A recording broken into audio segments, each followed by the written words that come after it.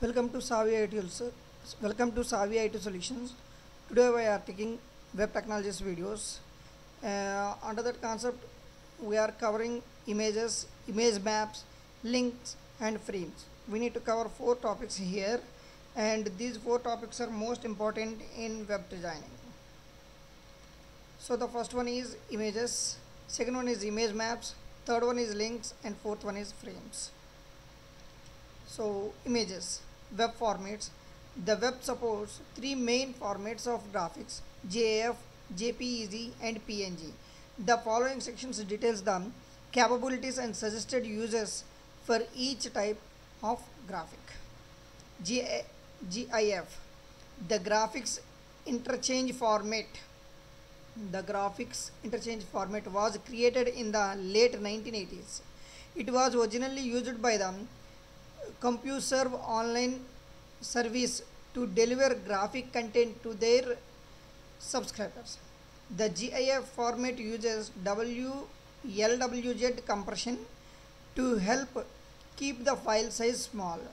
Version 89A of the GIF format added the ability to encapsulate several images within one file, giving the format animation functionality. The GIF format has the following characteristics. Supports up to 8 bit color. It means 256 colors. Supports transparency. It's stored in a compressed or lossless format. Can be interla- interlocked and used for rudimentary animations. So next one is jpg the joint photographic experts group graphic file format is actually two standards.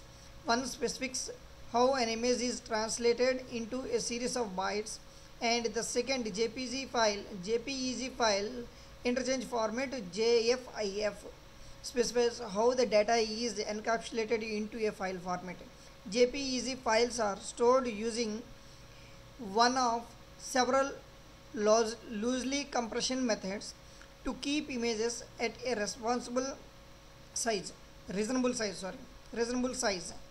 The compression scheme sacrifice being able to accurately reconstruct all data present in the original image.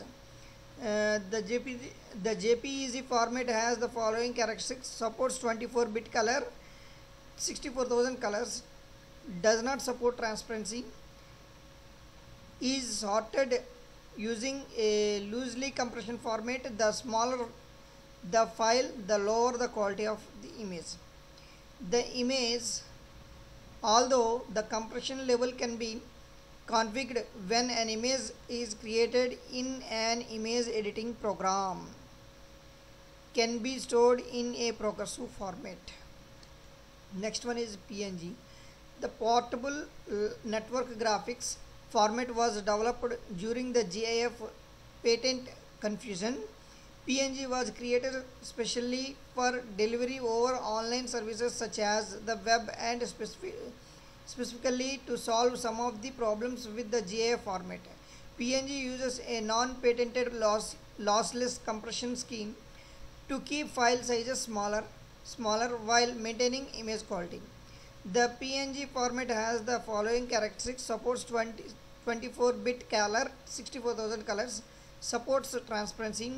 Is stored using a lossless compression scheme. Can be stored and displayed in interlocked format. So how we are inserting an image into web documents. Image is the tag to import uh, images into our web page img source we need to specify the source. We are putting alternative text if the image is not called properly. We need to specify the width as well as the height. In the down we are giving cat.jpg is the file and alternative text is we providing. It gives the entire image. So this is the way we are using the entire image is displayed in actual size in the second example, we specified that width is so and so and height is so and so. Automatically, the image is uh, in smaller size. It is not displayed actual size. Next, image maps. This is a very very important concept. Image maps provide a method to map areas of images to actions. For example, a company website might want to provide a map of the United States that allows customers to click on a state to find a local office or store. There are two types of image maps client side and server side. Client side image maps rely on the user agent to process the image, the area where the user clicks, and the expected action. Server side image maps rely on the user agent only to tell the server where the user clicked. An agent on the web server does all the processing, specifying clickable regions. To create an image map, a list of polynomial regions must be defined on an image and referenced in the HTML document. Three types of three different types of polynomials are supported rectangle, circle and free from polygon. So RET, RECT defines a rectangular area by specifying the coordinates of the upper left and lower right corners of the rectangle. Circle defines a circle area by specifying the coordinates of the center of the circle and the circle's radius. POLY poly defines a free form polygon area by specifying the coordinates of each point on the polygon. So, uh, specifying religions using anchor tag, map, map name we need to specify and we need to call the image, call the HTML page and we need to select the shape and the, we need to give the coordinates left corner and uh, right bottom. So similarly here I am use all are rectangle we are taking one example very clearly so now here we need to discuss rectangle circle two images. One we need to take starting and ending points. Here uh, coordinates as well as the radius. Okay I will explain this example very clearly when I am doing practical. Why? Because it is most important and you can understand using single image we can call more uh, HTML pages so that will help you. So next one is links understanding URLs a uniform resource locator is the unique address of a resource usually a document on the web this addressing scheme allows user agents and other internet enabled programs to find documents and ask for their contents URLs are made up of several different parts, all working together to provide a unique address for internet content. So this part is the first one is the protocol. The different protocols are HTTP, HTTPS and FTP.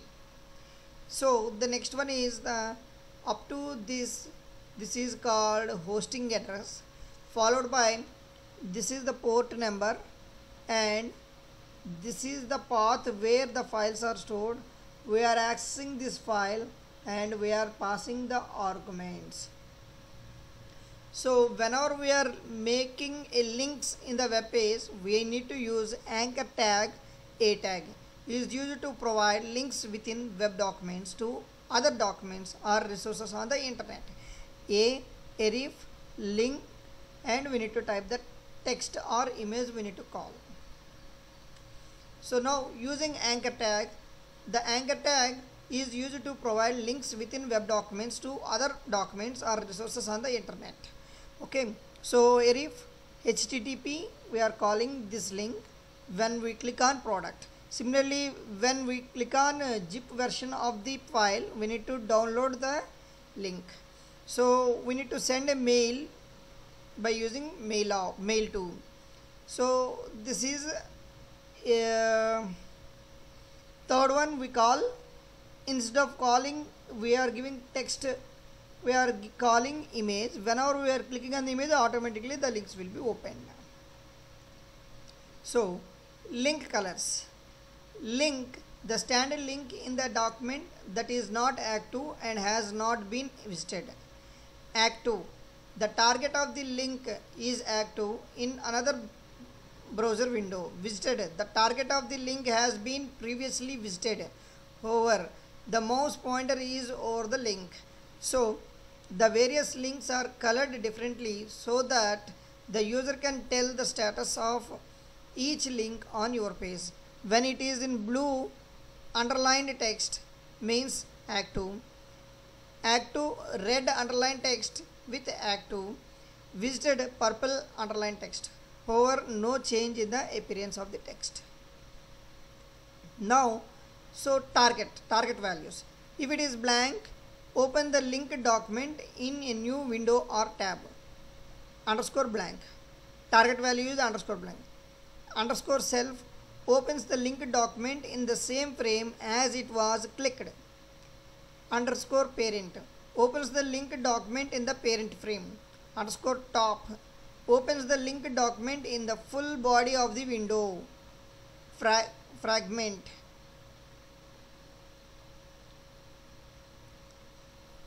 opens the link document in a named frame. Okay frame name. Opens the name link document in a named frame. So the last concept is frames. Html frames are used to divide your your browser window into multiple sections where each section can load a separate html document. A collection of frames in the browser window is known as a frame set. Okay it is nothing but uh, more than one html page is displayed in a single html page with the help of frames. Creating frames we use frame set tag instead of body tag. The frame set tag defines how to divide the window into frames. The rows attribute of frame set tag defines horizontal frames and columns attribute defines vertical frames. Each frame is indicated by frame tag and it defines which html document shall open into the frame. So here small example frame set rows 10% 80% 100% it means that let us take this is a web page then the web page is 10% 10% and 80% will be divided. So this is the top this is the main this is the bottom it divides. Okay? So that in the frame we are giving name is name and we call the html page again second second third like this. Not only this we can also design differently. So when we need to design like this we need to use multiple frame sets. Means for dividing into rows we need to take one frame set.